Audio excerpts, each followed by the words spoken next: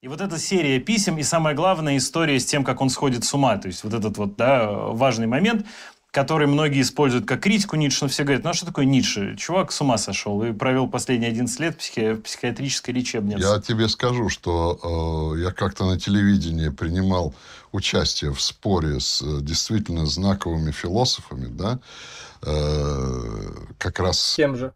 Э, скажем, в России есть знаковые философы? С, кафедры философии МГУ. А, я... ну окей.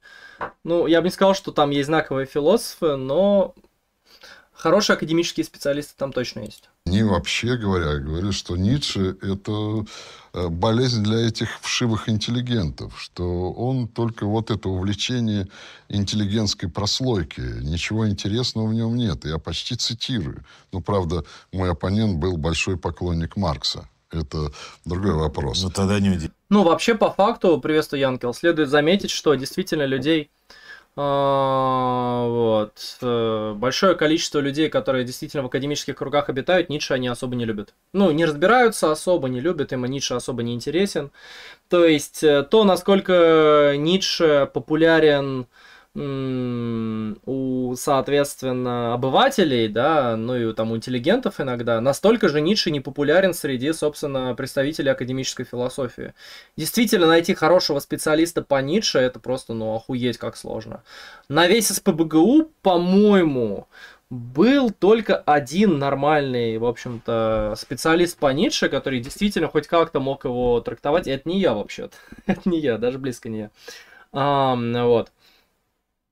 Это, собственно, как, как же его фамилия-то была? Грикалов. Причем младший Грикалов, к сожалению, погибший, но вот ну вот, ну вот, действительно сила, как бы, да, действительно специалист по Ницше хороший, э, вот, которого действительно можно по Ницше послушать и как бы не наебаться. Световид не, не, не, не было его там в тот момент. То есть в этом плане, если вы думаете, что вы на философском факультете, соответственно, будете изучать Ницше, вот вы, да вам Ницше понравился, и вы думаете, что вы будете там изучать, вот скорее всего вообще нет. Скорее всего вообще нет. Скорее всего вообще нет. А, а, вот. И это действительно, блин, это максимально, максимально парадоксально, потому что вроде бы один из самых распиаренных философов, не просто самых распиаренных, один из самых влиятельных распиаренных философов. Кстати, повлиявший очень сильно на философию. Но в России вы очень мало специалистов по Ницше достойных найдете. И, кстати, серьезно, Цветовид, он хороший специалист по Ницше. Ну, лучше меня, по крайней мере, но я вам по своему опыту прочтения Ницше просто скажу, что Ежи вполне мог бы преподавать Ницше в университете, и если бы он преподавал, это было бы вполне нормально, это было бы хорошо. Университетам не хватает таких специалистов, как Ежи, ну вот по Ницше конкретно. Все специалисты по Ницше обычно по помойкам разбегаются, соответственно, бухают и сходят с ума в дурках, простите. А, вот. Вот, вот, вот в этом действительно проблема. А Ницше это влиятельнейший мыслитель своего времени, влиятельнейший. Он повлиял на постмодернизм. То есть континентальная философия от него очень много забрала. И Хайда, он на Хайдегера повлиял. У нас дохуя специалистов по Хайдегеру, но очень плохо со специалистами по Ницше. Парадокс. Друзья, донатим, кстати, на вот это видео, если хотите продление. Здесь всего полчаса, как я помню. Вот. А видео хорошее пока. Удивительно. Ну, возбуждает. Ну, как бы немного не сходятся ребята, поэтому ясно, что если ты являешься поклонником Маркса... Как взять Геги, Геги... Да не, ну это просто действительно распространенная чепуха на философских факультетах. Ницше плюс-минус даже у студентов в основном зашкваром считается. Ну, то есть вы, опять же, посмотрите, что Лемон про Ницше говорит, как он там над ним насмехается, как, собственно, Васил над Ницше насмехается на самом деле. Маргинал и так далее, так далее, так далее. То есть, ну, на самом деле Ницше для многих является такой фигурой для высмеивания, по большей части. Не более того. Ну, Потому что философы угорают там по Канту, угорают иногда по Гегелю, иногда угорают по, собственно, Хайдегеру, иногда угорают по аналитическим философам. И все это преимущественно, ну, не считая Хайдегера, мимо Ницше проходит. Потому что Ницше, ну, он критиковал всех из вышеперечисленных мыслителей. По Аристотелю, по Платону угорают очень часто тоже. А, а Ницше всех критиковал. Ну и Ницше получается такой оппонент, у которого при этом э, вот, не было изложено, ну, какой-то мега крутой критики, конечно, не было изложено какой-то мега крутой критики. И в этом, конечно, тоже проблема. То есть Ницше действительно мог бы потратить больше времени на ознакомление с Платоном, Аристотелем, Кантом. Действительно мог бы потратить больше времени на контраргументацию, да, то есть позиции Ницше интуитивно мне, например, очень близки, но я поддерживаю позицию, согласно которой Ницше плох в аргументации. Более того, исторические представления Ницше о том, что было в Древней Греции, довольно слабые. То есть мы, я могу его поддержать с тем, что, например, Сократ это определенный упадок, причем, ну, в каком-то смысле упадок, да, но то, как Ницше это преподносит, на мой взгляд, все-таки категорически неправильно. Мне кажется, у Ницше много хороших интуиций, правильных, интересных интуиций, которые следовало бы развивать и аргументировать дальше. Но по какой-то причине многие за них не ухватились. Хотя э, постмодернизм, постмодернистическая философия все-таки эти интуиции использовала и использует в критике модерна, в критике Канта там, например, в критике рационализма, в критике иногда науки и всего такого. То есть в этом плане интуиции ниши все еще живут. И явно они, ну, как бы взяты у Ницше, потому что огромное количество вот этих самых постмодернистов, они буквально, они точно читали Ницше. Многие даже о нем отдельные книжки написали. Так что тут как бы, тут как бы сомнений мало. С другой стороны, сам постмодернизм не является тоже очень сильным направлением с точки зрения аргументации. Важно об этом также помнить, да. Я сам себя постмодернистом никогда не считал и считать не буду, безусловно, да, я, я здесь вообще как-то вне традиции себя определяю скорее. Ну и как-то так. Посмотрел, пишет Витя, на, на начало, сейчас обсуждал в про Ницше, где сын говорит, что-то там про Раде и думаю, что он придурок, ну, потому что Раде это друг Ницше, а не учитель, позор, позор чуваку, а ты не заметил, кстати.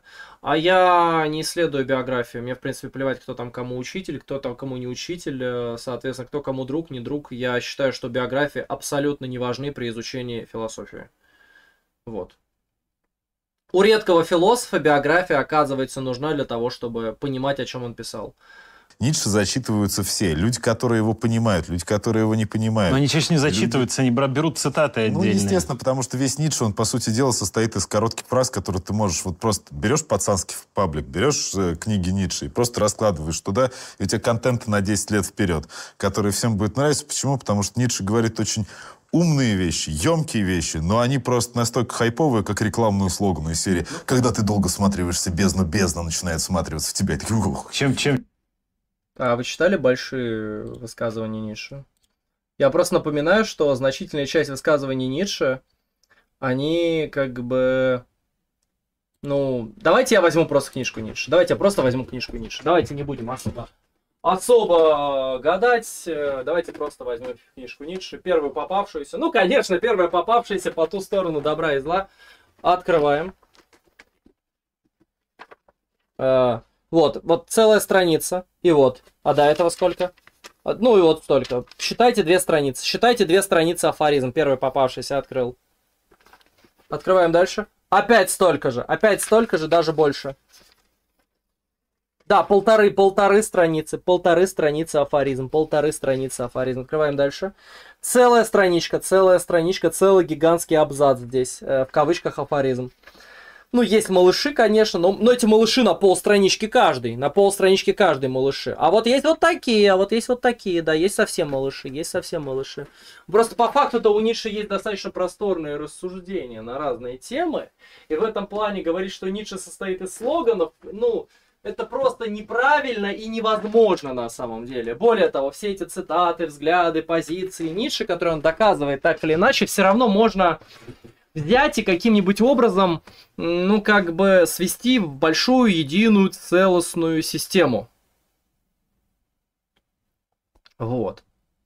И в этом плане, конечно, тоже важно Ницше понимать, да, ну, вообще, я думаю, все философы, когда что-то делают, они начинают с черновиков, да, каких-то.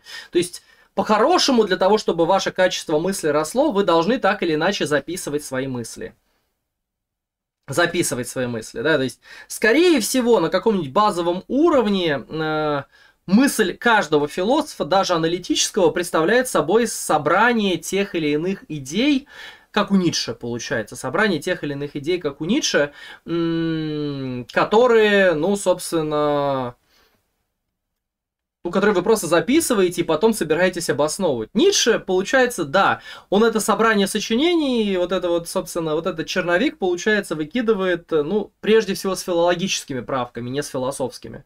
То есть какой-нибудь философ в духе Рассела, им придерживая, допустим, если бы он придерживался подобных идей, то есть он бы разбил бы все эти тезисы, э, все эти э, афоризмы разбил бы на тезисы, разбил бы их на доказательства, сгруппировал бы их таким образом, чтобы они друг с другом были связаны, они там друг друга так или иначе, собственно, обосновывали. Э, в случае с Ницше далеко не все у него обосновано, хотя текста там много, есть какие-то попытки обоснования, иногда даже довольно серьезные, это первое. Во-вторых, почти все приходится структурировать самому. Это его очень сильно отличает от многих других философов, конечно же. Но в советское время эту стату поменяли, потому что туда добавили Ленина. И в результате сейчас, если вы идете по кругу здания, вы можете прочитать следующую фразу. Когда выстроишь дом, то понимаешь, что только диктатура пролетариата способна освободить человечество от гнета капитала. Вот получается у тебя такое смешение с одной стороны Ленина, с другой стороны Фридриха Ницше. И вот они соседствуют вместе. Но ведь... Так это база. Не, на самом деле, просто это чуть ли не во всем мире база. По крайней мере, давай, давайте так. Аналитическая философия, на мой взгляд, оказывает минимальное влияние на культуру, минимальное влияние на культуру. То есть это на самом деле, на мой взгляд, самый большой промах аналитической философии вот в этой всей идейной борьбе. То есть, честно говоря, честно говоря, среднестатистическому такому интеллектуалу, ну, по большей части плевать на аналитическую философию, скорее всего, да, как раз потому, что она не представлена в культуре и мало представлена в литературе как таковой, она, она меньше интересна. При том, что континентальная философия, которая Ницше, Маркс, она очень хорошо представлена. Она вот просто пронизывает культуру. Весь этот постмодерн, Ницше, Маркс и вот это вот все, оно оно вот здесь просто. Оно в песнях Славы КПСС, оно там, я не знаю, оно просто, оно просто вокруг нас. Не только Слава КПСС, оно в литературе в большой присутствует. Современной литературе 20 века. Вот это вот все смешение, это просто база, и это база, ну, по всей Европе. Так-то. Как-то так. И опять же, парадоксально, что философы отказываются от Ницше, потому что Ницше, ну, философ академический имеется в виду, потому что Ницше это действительно сильнейший бренд. Это просто мощней, мощнейший бренд от философии. Это один из самых э, значимых философов для почти любого обывателя. Как бы Ницше, ну, прям ну прям даже если он вам не нравится, да, если вам даже не нравится этот Ницше проклятый, ну по факту можно взять и все-таки как-то его ну, ну, вплести в дискурс, попытаться, да, это было бы очень с точки зрения пиара хорошо. Чем больше Ницше в ваших э, университетах, тем могло бы быть лучше.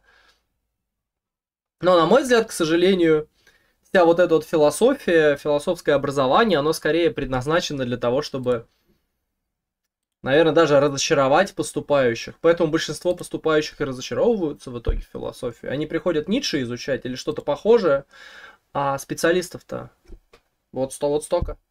И ты, на самом деле, когда смотришь на их жизни, на их работы, то ты, например, у Беркли можешь увидеть, что есть работы, которые они писали в 18 лет, работы, которые они пишут, не знаю, в 30, 40, 50 лет. И на самом деле они просто э, там обсуждают и развивают практически одну и ту же тему. А в этом плане Ницше сам о себе говорит, как бы, что он Дон Жуан познания. То есть он что делает? Он... Ну, не, по факту, неожиданно. Знаете, в чем проблема? Что бы Ницше о себе не говорил, он все равно развивает одно и то же учение на протяжении всей жизни. Начиная с рождения трагедии. Буквально начиная с рождения трагедии Ницше погружается, так скажем, в дионисийский вот этот вот свой облик. То есть Ницше противопоставляет себя рационализму Аполлона, да, аполлонийской культуры, Ницше себя ему противопоставляет. То есть он выступает против Аполлона. И э, а, все больше и больше погружается в образ, собственно, Вакха, э, то есть Диониса. Все более и более становится Дионисом. Да, его философия это реализация дионисийства по большей части, оказывается на протяжении всех ее этапов значительных, вплоть до воли к власти. Так или иначе, все метания Ницше это просто, да, формирование вот этого дионисийского начала. Как-то так.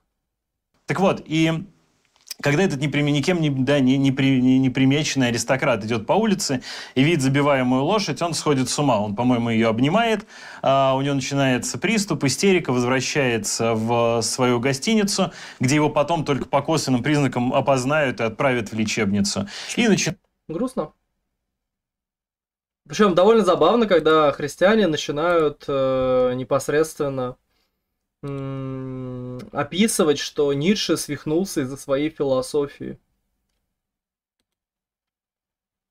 Любят. Любят ли люди, в общем-то, говорить, э, знаете, такие вещи, мол... А, ну все, он с ума сошел, ну, значит, ерунду, короче. Него все, все очевидно. Все очевидно, все просто. Э, глуп- глупости, глупости говорил, Ницше, Ницше лох, как бы, да. Но при этом всем, при этом всем важно, наверное, отметить, важно, наверное, отметить, что Ницше действительно большую часть своей жизни был болен вполне так себе, да, то есть вообще неудивительно, что у него какие-то проблемы с психикой в итоге образовались. Но при этом всем это никаким образом не аннигилирует те идеи, которые он излагал, те идеи, которые были признаны некоторыми, в общем-то, людьми в сообществе, да, и философском, и, собственно, не только философском, вообще, в принципе, в большом культурном таком сообществе. Ну, также Ницше вызвал колоссальный резонанс, колоссальный резонанс в обществе уже в 20 веке. Причем довольно забавно, что Ницше каким-то образом действительно смогли подписать под нацизм, ну, как бы посмертно. Это вообще из разряда какой-то тотальной шизофрении. Но даже здесь это как-то выглядит довольно забав- забавно в каком-то смысле, потому что нету большего антинациста за всю историю философии до нацистов, имеется в виду, да, чем Ницше. Ну, после Ницше найдутся, после Ницше найдутся. Ой, после, после нацизма, после того, как нацизм был побежден, найдутся, конечно, больше антинацисты, чем Ницше. Но конкретно вот в эпоху до нацизма, серьезно, ну кто? Кто у нас почти все люди? Ну, антисемит, почти все антисемиты. Ну, Достоевский антисемит, там писатель, каждый второй, каждый первый ярый антисемит. Кант антисемит вроде бы. Здесь могу ошибаться. Либо Кант просто расист, либо он антисемит, я не помню. А, Более того, Ницше не коллективист. Ну, он, он антиколлективист, он антисоциалист в принципе. А, философия Ницше, вообще его мировоззрение Ницше, да, оно вообще в наци- национал-социализм не ложится, ну, никаким боком. И даже понятие о сверхчеловеке, оно не такое, какое, какие представления о лучших людях у нацистов. Начинает просто строчить э, вот эти безумные письма. Еще играет на э, рояле, по-моему. То есть доносятся какие-то странные звуки музыки. А Ницше и музыка – это очень э, интересная тема. В общем, странные, чудные, сумасшедшие импровизации, сумасшедшие письма, ну и потом заключение на 11 лет в психушку. То есть Ницше это продукт русского мира. Кстати, э, Ницше, Ведь по-моему, я сейчас... это Федор Михайлович Достоевский, да? Да. Ой, лол, ой-ой-ой-ой-ой-ой-ой, начинается. Начинается, короче, чепуха. Ницше как продукт русского мира, господи, как Достоевский. Достоевский это анти-Ницше. Достоевский это анти-Ницше. И это Сон Некрасов. Раскольникова с э, лошадью. Только И Некрасов это анти-Ницше. не здесь- путайте причину со следствием. Да. В советское время же считали, что Достоевский взял у Ницше А идею наоборот. и наделил, Да никто ни у кого ничего не брал, лол. так сказать, ею э, Раскольникова. При этом не, не... Ой, господи. Ой, господи. Я, честно говоря, полагаю, что здесь влияния совершенно другие. Ну да ладно.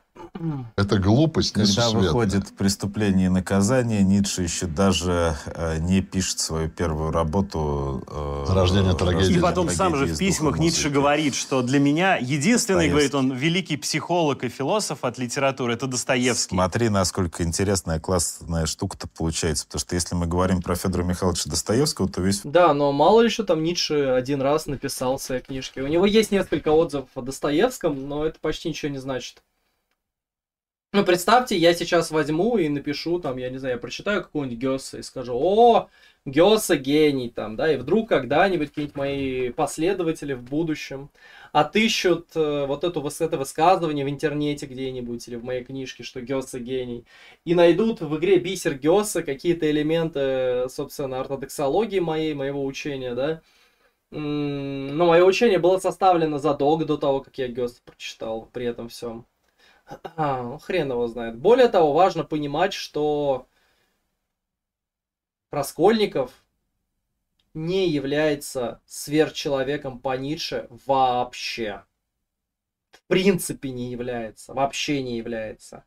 А, корреляции между Раскольниковым и сверхчеловеком нулевые. Ну, по крайней мере, потому что, по крайней мере, потому что сверхчеловек, если бы он и вдруг принялся убивать старушку, он бы до конца пошел, скорее всего наиболее яркие корреляции между сверхчеловеком и, соответственно, какими-нибудь литературными персонажами это сверхчеловек и романтики. Помните те самые романтики, которые какую-нибудь хуйню себя в голове придумывают, хуйню у себя в голове какую-то придумывают, там, не знаю, романтическую, там, надо за кого-то воевать, надо за кого-то убивать, надо что-то там делать крутое, надо там покончить жизнью ради женщины, там, или еще что-то, пойти защитить Грецию какую-нибудь неожиданно. То есть ты живешь в какой-нибудь Англии, а тебя вдруг жопа приспичила, жопа горит, тебе Гре- Грецию защитить хочется, вот, понимаете, от несправедливости.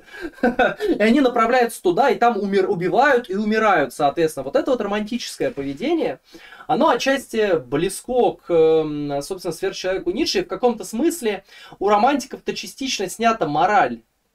Сверхчеловек не, не равно шизофреник, но я просто хочу заметить, что ну, наибольшая какая-то литературная корреляция – это корреляция с романтиками. Потому что как раз романтики, они ну, умели ставить себе какие-нибудь ебанутые абсолютно цели. Плюс-минус были связаны с творчеством, творением. Плюс-минус большинство романтиков, ну, относительно христианской морали, были аморальными хуесосами. Ну, как бы, давай, давайте по факту, да, были аморальными хуесосами. Спали там со своими сестрами, э, матерьми, там, с мужиками другими там спали, еще какую-нибудь хуйню делали. То есть, тут как бы, понимаете, э, романтик это не до сверхчеловек Ницше. Э, Раскольников нет, э, Раскольников не создает себе новую мораль, во-первых. Во-вторых, у Раскольникова достижений нету никаких в мысли, в искусстве, ни в чем. Он просто обычный умственно неполноценный дегенерат, простите, да, со своими внутренними мучениями. Чувак немножко зазнался просто. И не смог выдержать своего зазнайства, это важно. То есть, да, Раскольников подумал, что «Ух, я сильный, сейчас я все сделаю» и не сделал, и всосал, как и многие люди. То есть это не сверхчеловек по Ницше, и даже близко нет, это даже близко не то. Сравнение, вообще, в принципе, сравнивать э, Раскольникова и сверхчеловека Nope, сразу нет, это нет, это разные образы.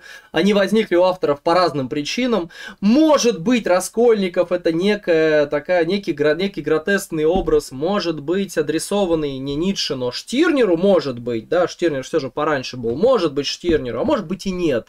Мы на самом деле до конца здесь не знаем, кому он был адресован.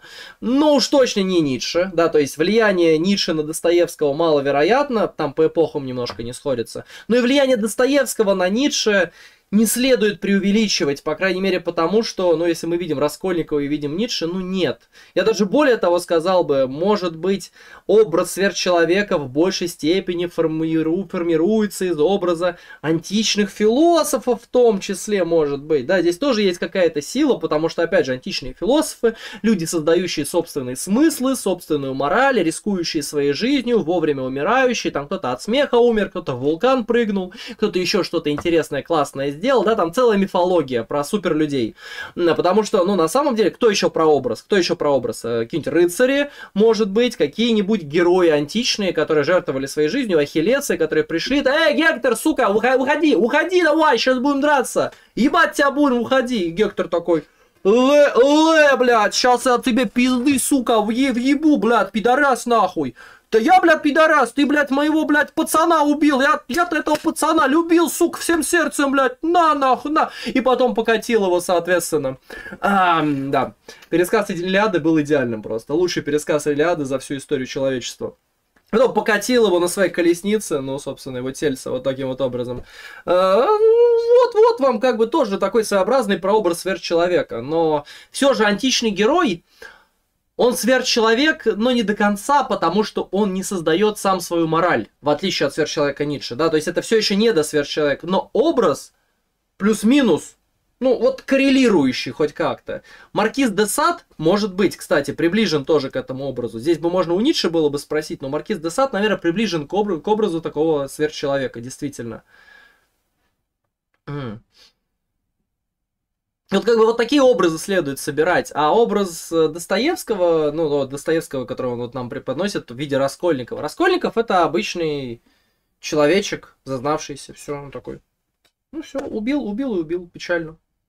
Ну, как бы не просто, не, не просто убил и убил, он сказал, он уби- убил, начал там, не знаю, мучиться, раскаиваться, еще какая-то херня там начала происходить. Ему там Соня Мармеладова еще на голову накапала, там еще какая-то хуйня, раскаяние, там вся, вся вот эта чепуха, ну, ну, это не по-сверхчеловечески, во-первых. Во-вторых, сверхчеловек не всегда морал, важно заметить. Вот. Он не всегда обязан быть аморалом в этом плане, но все-таки. Там во- вообще очень странная связь. Подожди, Обычно- подожди, подождите, ребята, когда посмотрите, читаешь- что получается, что э, если э, Ницше знаком с Достоевским, понятное дело, а мы знаем, что очень часто образы литературы влияют на наше непосредственное восприятие действительности. Возьми образ князя И Мышкина, и тут идиота. я- нет, и подожди, а тут я задаю вопрос. Вот тот случай, Да почему здесь Достоевский? Господи, сколько романтиков было до Ницше, сколько, собственно, Штирнер был до Ницше, еще много кто был до Ницше. И Ницше, собственно, филолог, который много кого читал. Почему Достоевский? Почему сразу Достоевский? Вот русские фил- филологи. «А, Ницше читал Достоевского, все, спиздил идеи все, блядь, вот это да, Достоевский гений, все дела. Только проблема, опять же, заключается в том, что, ну, Достоевский – это противоположность Ницше сам по себе, и Достоевский, собственно, в своих произведениях делает такие уроки и доказательства, которые противоположны идеям Ницше. То есть, и Ницше не зря пишет, что, да, ему нравится Достоевский как психолог, но при этом всем Ницше так плохо никого не переваривает, как Достоевского. Там, знаете, там что-то, там что-то такое вот высказывание было. То есть он считает Достоевского гениальным психологом, но при этом от философии Достоевского, от взгляда на мир Достоевского у Ницше там то ли не сварение, я не помню, как он это сформулировал. То есть здесь важно все же понять, что Ницше уважал Достоевского, да, читал Достоевского и уважал Достоевского как литератора и как психолога, но как философа скорее нет. Ницше четко осознает, что Достоевский его оппонент на самом деле. Практически во всем его оппонент даже на самом деле. Ну да ладно. И я, честно говоря, не думаю, что Ницше складывал свою философию в стиле быть антидостоевским. О, Достоевский написал про Раскольникова, а сейчас я напишу книжку, в которой персонаж Раскольникова э, будет, э, ну, возвеличен и вот создан как таким, знаете, супер персонажем, типа, да, сделан, как обра- образец для поведения будет взять. Нет, это не так. Это просто не так. Ну, как бы... Вообще идеи всевозможные, которые сверхчеловеку ссылают, ссылают нас, они с самых старых произведений Ницше, они присутствуют. Опять же, тот же самый Дионис, Дионисийское начало и все вот это вот. Здесь, здесь, в принципе, уже тоже можно такие, знаете, пометочки к будущему сверхчеловеку отыскать. В человеческом, слишком человеческом. А, книга для свободных умов вроде бы называется. Вот свободные умы это тоже уже такой, знаете, эскиз будущего сверхчеловека. Если вы хотите набрать полный спектр свойств сверхчеловека, вы можете просто пройтись по старым произведениям Ниши, где ничего слова сверхчеловек не использует. И просто пособи- пособирать материалы, да, вот тех, э, тот образ человека, который Ницше считает достойным. Там все эти качества, они друг другу не противоречат.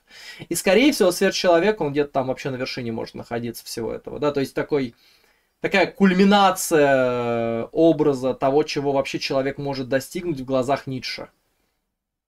Он к этому подходит постепенно, и вот.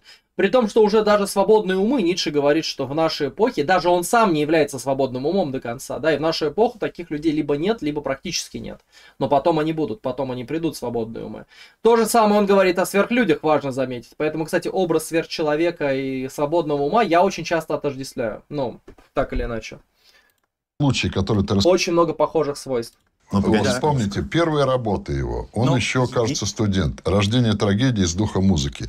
Ведь он там делает одно из величайших открытий в истории античной культуры. Ведь он, прежде всего, не философ, он филолог-классик. Филолог, да. Он делает революцию, он разрушает классическую э, философию немецкую и создает философию художника. Это художник, М, Может быть, так можно сказать, что Ницше создает философию художника.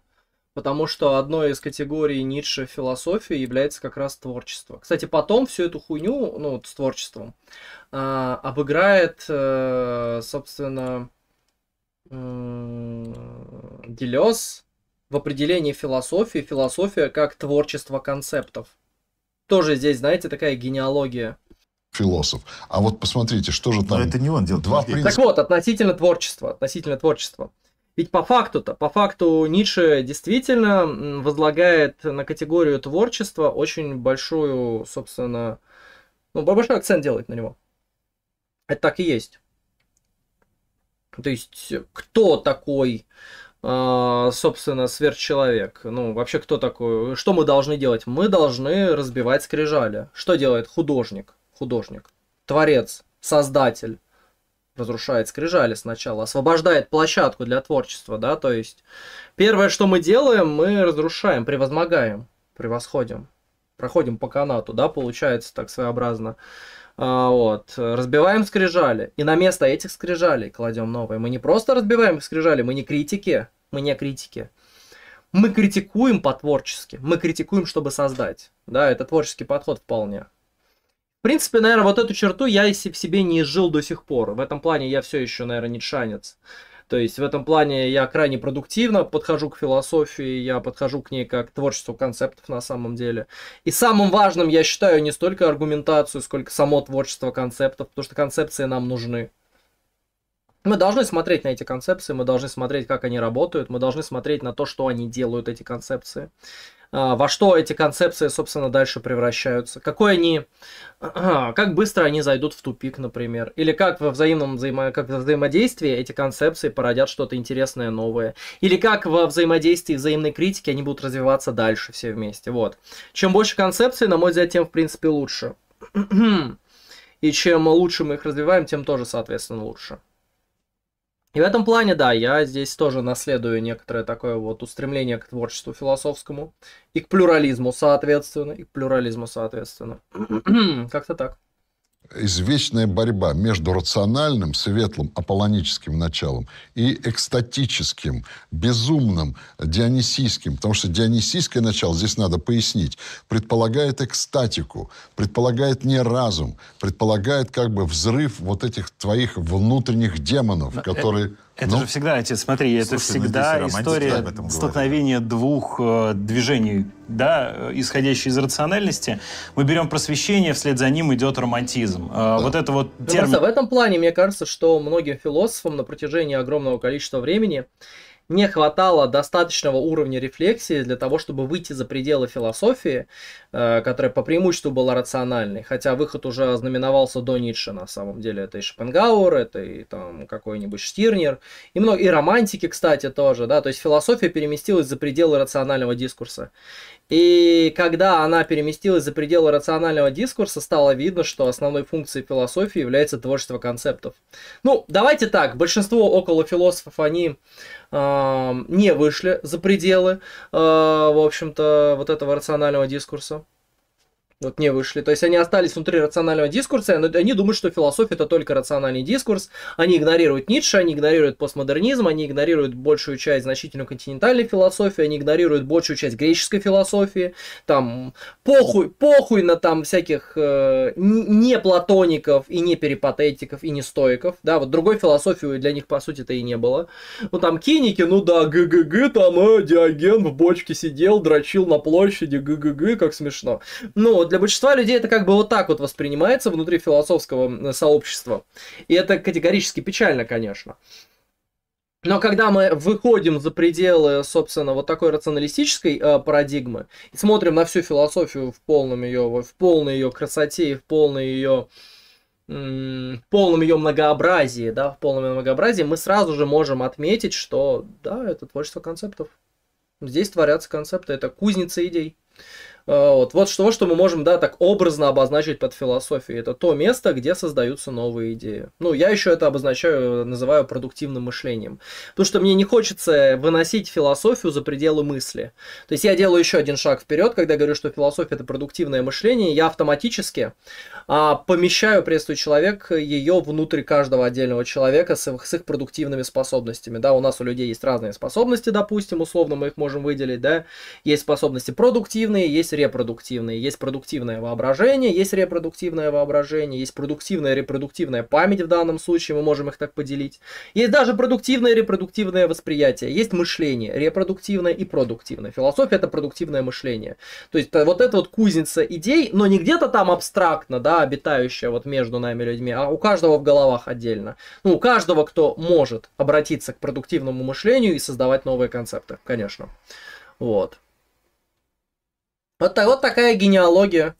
Шад... Генеалогия от Шадова, во-первых, да, а во-вторых, генеалогия, ну, собственно, такого вот становления понимания философии, особенно в эпоху после нового времени, потому что новое время, ну, очень рационалистично. Даже так называемые даже так называемые эмпирики, на самом деле, те еще рационалисты, если мерить по, э, собственно, категориям э, того, что мы могли назвать рационализмом или эмпиризмом ну, прошлого имеется в виду Греция, средние века, да, вот если мерить по этим э, рамкам, то новоевропейские рационалисты и новоевропейские эмпирики, эмпиристы точнее, да, ну это, собственно, кто? Ну, это, они, они о, о, о, обе группы, они достаточно рационалистичны, и обе не то чтобы против опыта на самом деле. То есть они очень похожи отчасти. То есть у этих, у этих двух групп очень много схожего, похожего. Это вам не Древняя Греция, где очень странные разные школы могли существовать вместе и критиковать друг друга. Да. При этом он кого одним из своих э, вдохновителей будет считать? Ницше же почему интересен? Он берет, он знает Канта. Кто-то потом скажет, его рождение трагедии из духа музыки это вот некая вариация. Вот есть Кант с его рациональностью, а есть Ницше, который говорит, я критикую ну, вообще вопрос в том, насколько Ницше вообще знает Канта, он открыт, на мой взгляд потому что критика э, Канта от Ницше, ну, как, как бы я не любил Ницше, как бы мне не был противен Кант, да, э, в целом, э, ну, вы знаете, что я к Канту не очень хорошо отношусь, ввиду того, что, на мой взгляд, это просто некоторое неохристианство такое, обновление христианского дискурса. Так вот, несмотря на все это, несмотря на все это, я бы все-таки отметил, что у Ницше очень много проблем э, с восприятием Канта, и это на самом деле нормально. Ницше все же философ, он не философовед, так скажем, да. Ницше не является специалистом по Канту. Ницше является мыслителем, который Канта критикует. И это нормально, да, то, что иногда его критика бьет очень сильно мимо. Э, мы можем просто взять и сказать, вот эти критические пассажи против Канта у Ницше мы можем просто игнорировать некоторые. Некоторые можем, некоторые не можем, соответственно. Да, вот так вот взять и все это распределить. Вообще неудивительно, что во многих случаях мы просто можем взять и сказать, ну, критика этого человека против вот этого человека была неправильной. Например, критика Поппера в адрес, э, соответственно, Гегеля была неправильной, потому что Поппер не понимал Гегеля. А, там действительно есть предпосылки для непонимания Гегеля. А, вот. Э, правда, мы не всегда можем так сказать, конечно. Но все же такое очень часто бывает в философии, когда большие философы, не понимают своих оппонентов, даже давно умерших оппонентов, которые входят там в классический корпус для изучения, да, например, Гегеля. Ну, то есть, ну, вот не понимал человек Гегеля. Нормально, я тоже не то, чтобы, знаете, большой фанат Гегеля, чтобы его прям сильно понимать. А у меня есть некоторые контраргументы против Гегеля, но все-таки я бы не сказал, что я являюсь знатоком Гегеля, никогда не являлся. Читал, наслышан, уважаю, уважаю Гегеля но знатоком не являюсь. Когда пытается описать вообще всю... Ну, подожди, пытается... ты пере... сразу перескочил... ну, подожди, это подожди, историю. Ты перескочил сразу в постмодернизм. А я хочу сказать, чтобы давайте последовательно. Ведь Ницше и его философия, о которой мы сейчас так много говорим, да, э, ссылками на труды и так далее, он ведь определил все основные философские течения 20 века. Давай... Пиздеж. Вот это пиздеж. Вот это прям яр, яркий пиздеж. Аналитическую вот вообще весь, весь все крыло аналитической философии практически за редкими исключениями Ницше не предопределил. Все-таки. Будь, будем честны. Есть отдельные направления марксизма, там, кантианства и всего остального, да, что Ницше тоже не предопределил. Тоже будем честны. Также на вскидку, может быть, еще обнаружится несколько направлений, которые Ницше не предопределил. Так называемая философия, философия жизни предопределена отчасти Ницше, да, там Бергсоны всякие, а, Шпенглеры и так далее. Да, да, предопределил, безусловно. Экзистенциализм отчасти предопределен Ницше, это тоже правда. Да, Жарина все-таки открыл рот и сразу обосрался. Это да. Это правда. Э, вот как бы, как бы человек только рот открыл и сразу сказал хуйню. А, а, ну вот. Ну вот, ну вот, ну вот, ну вот. Из важного. Есть такой, Вань. Так вот, Uh, все же Ницше не все предопределил. Многое, но не все, но не все. Постмодернизм предопределил. Структуралистов, постструктуралистов, да, предопределил, особенно постструктурализм как таковой, когда он уже стал постструктурализмом. Uh, Хайдегера предопределил. Вот Гуссерля нет скорее. Я не знаю, насколько Гуссерль был знаком с э, Ницше. Выстроен на Ницше и на его идеи. Ты упомянул Ницше Серебряный век. Хотя, Подождите. хотя изначально. Здесь тоже важный очень момент. Ницше-то Месси, привет. Во всех этих моментах. Он же романтик. Ну, то есть, где был бы Ницше без немецкого романтизма? Конечно. Ну вот здесь как раз э, параллель Ницше и романтики. Вообще, в принципе, смотрите. А, Гегель. Центральная фигура здесь. Гегель. Гегель. Гегель. Появляется Шопенгауэр. И появляются романтики. И Шопенгауэр и романтики против Гегеля. Против Гегеля, против рационализма. И рационализм появляется, да, и рационализм. Тенденции философии, которые противоречат рационализму. Романтические тенденции, которые и в философии романтизма возникают, и одновременно с этим не только в философию, но и в искусство выходят тоже романтические тенденции. И не только в искусство, но и в жизнь конкретных романтиков, вообще-то. То есть многие в кавычках романтические герои, это ну, сами романтики нередко пытались повторить жизнь своих романтических героев. Ну или даже не своих, но, короче, пытались воплотить жизнь идеал романтика, так скажем. И в этом плане здесь действительно есть очень много того, что, в принципе, коррелирует с Ницше. А там и Вагнер рядом. Вагнер тоже тут же подходит. Вагнер тот еще романтик-то, на самом деле. У него много романтических черт в творчестве. Я не знаю, кстати, считается ли Вагнер романтиком в музыке?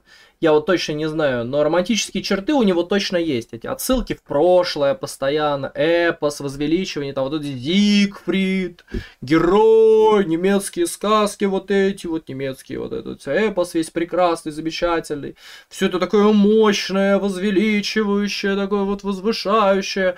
Ну, ну, Ницше здесь рядом просто постоянно ходит, действительно, и в этом плане Ницше как романтик, бли, по крайней мере, человек, у которого, на которого романтики оказали влияние, причем важно заметить, романтики, может быть, даже не столько как творцы, а сколько как философы оказали влияние, да, они сильны. Влияние романтиков, романтизма как философии. Вот. Не было бы никакого Ницше без немецкого романтизма.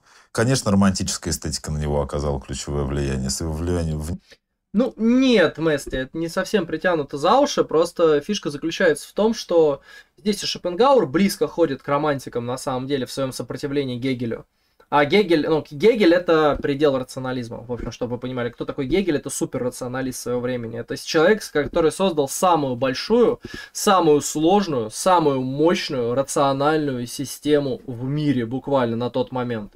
Это кульминация рационализма. Это самый топовый рационалист, который, в принципе, по его же собственному мнению, закончил философию. Нет, они не утверждают, что рома... а, не романтики создали Ницше. Ну, это генеалогически, ну, генеалогически без романтиков Ницше бы, скорее всего, не было. Я с ними согласен. Без Шопенгауэра не было бы Ницше. Без Вагнера, возможно, не было бы Ницше как мыслителя. Такого, какой он есть. И так далее, так далее, так далее. Ну, генеалогия здесь есть, понимаете, вместе. Скорее всего, это правда. Это как без Платона не было бы Аристотеля, без Платона не было бы Рассела, скорее всего, с очень большой вероятностью, да, так и, собственно, без романтиков в этом генеалогической, в этой всей вот ветке не было бы и Ницше. Вот. Без Шопенгауэра Ницше бы точно не было. Но при этом всем Ницше действительно общается с людьми, которым свойственны романтические идеи. И заимствует у них огромное количество разных образов. И сам Ницше заимствует ряд черт, соответственно, всяких романтических героев. И Ницше постоянно ссылается на персонажей тех или иных мифов. И его сверхчеловек это скорее мифологическая персона. В программе «Виток» говорить о Ницше. Прежде всего, это человек, который рожден античностью. Мы начали с того, что он философ-классик. И он там уже вводит понятие дионисийского и аполлонического еще, начала. Еще и Вагнер Минуточку. Второе.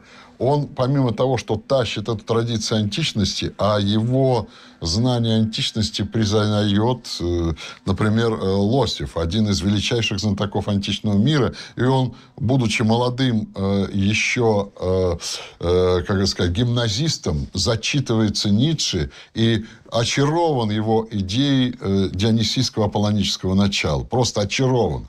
А потом мы знаем, что Лосев – это одна из самых ярких величин вообще познания античности в 20 веке. Значит, ну, хрен знает. В России и то может быть. Это совсем древняя, глубокая э, седина и так далее. Второе. Он романтик. Значит, это уже 19 век, и он продолжает. Вот виток. Вот его... Ну, вот здесь Ниша не романтик все же. Пря прямо говорить, что Ниша романтик нельзя. Евгений Викторович, как всегда, сказал хуйню. Что бы он ни говорил, всегда получается хуйня. Слава богу, почти весь выпуск он молчит. А, вот. историческое существование. Он продолжает вот это дионисийское романтическое начало. Третье. Оказывается, он лежит э, в основе того, что мы называем психоанализом. Так. Убагировал. Да, блядь, Скайрайдер, Ницше кого угодно возвеличивает, возвышает, включая самого себя, включая там персонажей, которые были там в прошлом, описывает каких-нибудь там сверхлюдей там или не сверхлюдей, и будущего, кстати, иногда тоже персонажей возвеличивает. Очень романтически. И описывает свойства сверхчеловека такими, какие должны быть свойственны, собственно, или были свойственны вот этим мифологическим всяким персонажам, тоже важно заметить анализом. И не вот случайно город Базел. Подожди, подожди. И не случайно, я продолжу. И не случайно город Базел. Дальше, в котором многих... Это вообще особый город. О нем можно роман написать. Почему в этом месте происходит такое сочетание разных векторов 20 века, э, культуры 20 Может быть, когда-нибудь, собственно, Николай Жаринов поймет, что его дед с ума сошел и отдаст его уже в дурку, блядь. И перестанет выпускать его в прямые эфиры. Не, ну просто серьезно, это уже как бы, ну, ну, ну, блин, ну, просто серьезно, Николай Жаринов, я к нему более-менее еще сдержанно отношусь. Да, он литература-дрочер, он литература-дрочер, я не люблю филологов, и литература-дрочерство я тоже не люблю. А, но при этом всем, при этом... Сука, Жаринов нахуй, зачем? Жаринов, нахуя? Жаринов, что ты сделал? Блять, зачем? Блять, меня повалил. Жаринов, ну хуя ты это сделал? Ев... Евгений Викторович, ну блядь, Евгений, ну нахуй, даже пошутил, ну блядь. Ну что ж сразу, блядь, ронять-то нахуй, ну что ж за хуйня? Как, как это было некультурно вообще с вашей стороны? Охуеть просто, охуеть, блядь. Да, блядь, стул хуёвый на самом деле. Хуй, стул хуёвый, если садишься вот на переднюю часть, а он проскальзывает.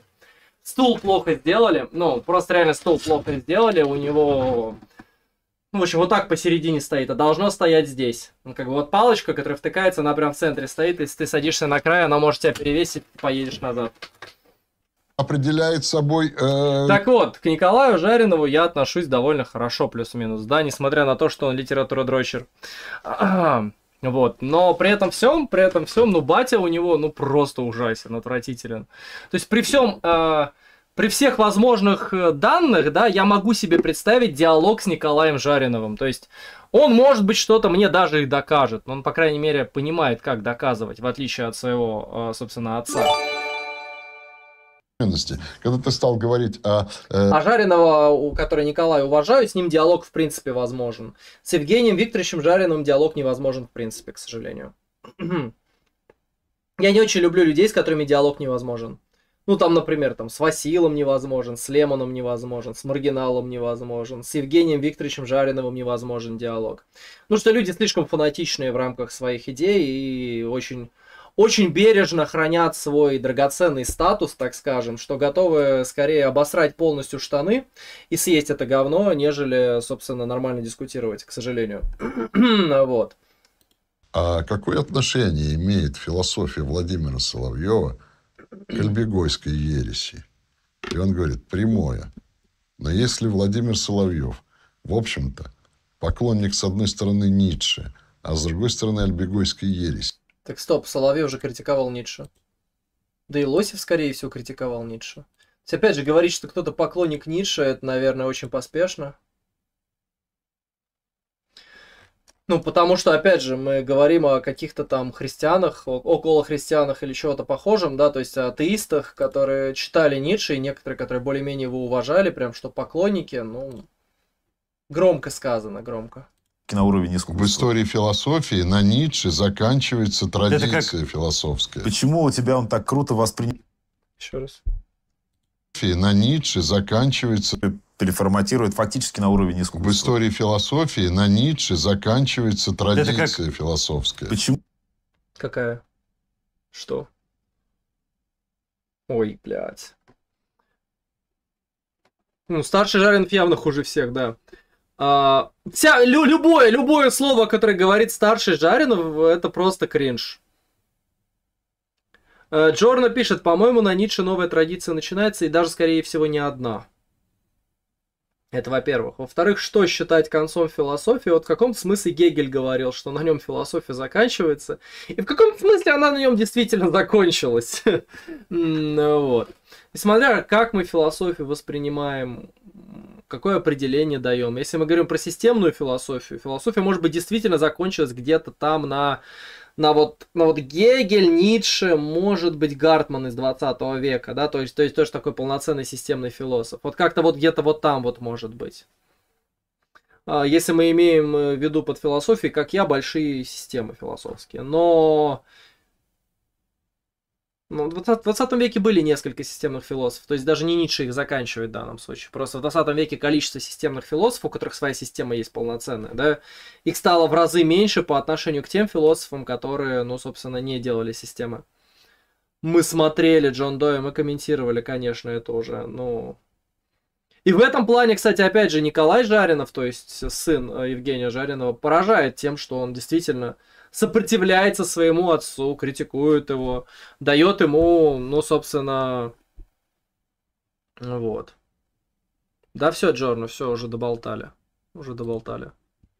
М принцип деконструктивизма. Взят у Ницше, мы о нем только сегодня и говорили. Он разрушает все основные принципы. Идеи христианства, идеи рациональности с его дионисийским началом и так далее. Далее, он говорит о том, что э, мир – это текст. Это вообще идея постструктурализма. И, и весь постмодернизм э, создается, по сути дела, же лингвистами. Да, Потому да. Что, когда и мы твой говорим... Wittgenstein сюда вписывается и так Философия далее. языка, Мир да. это постмодернизм, Wittgenstein, блядь, философия, сука, языка. Мэх. Мэх, блядь, за что? Ну, вообще следует заметить, что и в рамках континентальной э, традиции, в рамках, собственно, аналитической были свои исследования языка. То есть, да, и там, и там была философия языка, просто это были разные философии языка, которые произрастали из разных, э, в общем-то, источников. Ну, ну, просто, да, для понимания. То есть, да, вроде бы и там, и там философия языка, но связка между ними не так уж и очевидна и прозрачна. Ну, ладно.